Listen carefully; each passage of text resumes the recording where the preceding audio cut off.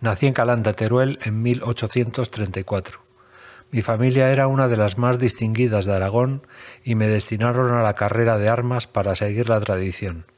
Ingresé en la artillería de Segovia, donde cursé y aprobé todas las materias, pero sentí la llamada del sacerdocio y abandoné el ejército. Hice mis estudios de teología y derecho en Zaragoza, desde 1868 hasta 1875 Fui nombrado sucesivamente canónigo de Gerona, arcediano de Toledo y luego tesorero de la Metropolitana de Zaragoza.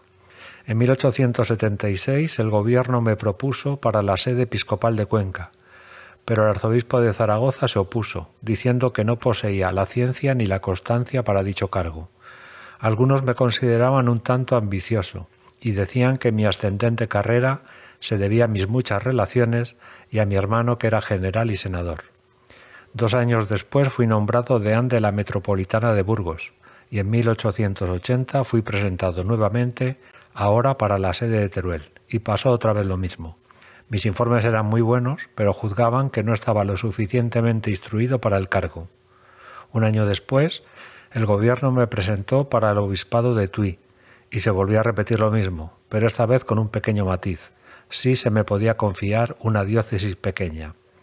En 1882 fui nombrado obispo de Dora, prelado nulius de Ciudad Real y prior de las órdenes militares.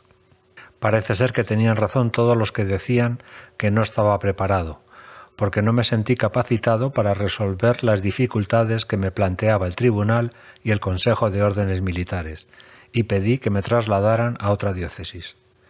Al quedar vacante la de Santander, Alfonso XII mostró interés en destinarme allí, pero Roma prefirió asignarme la diócesis de Calahorra, que era más tranquila. Al quedar vacante la diócesis de Vitoria en 1889, la regente María Cristina pidió que se me trasladase a dicha diócesis, pero lo rechacé. Sabía mis límites.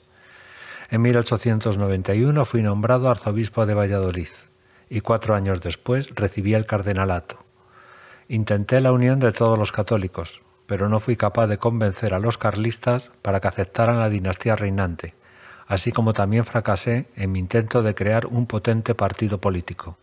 Fallecí a los 67 años, cuando me disponía a tomar posesión del arzobispado de Zaragoza.